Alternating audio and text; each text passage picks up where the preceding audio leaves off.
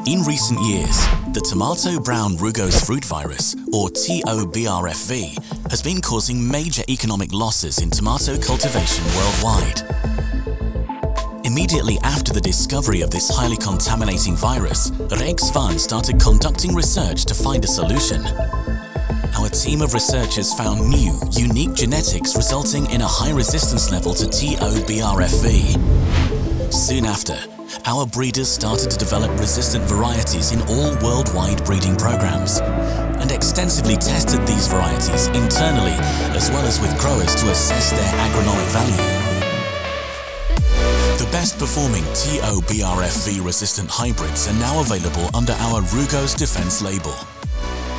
Rijk Zwaan now offers a solution to growers worldwide, allowing for a healthy crop and peace of mind.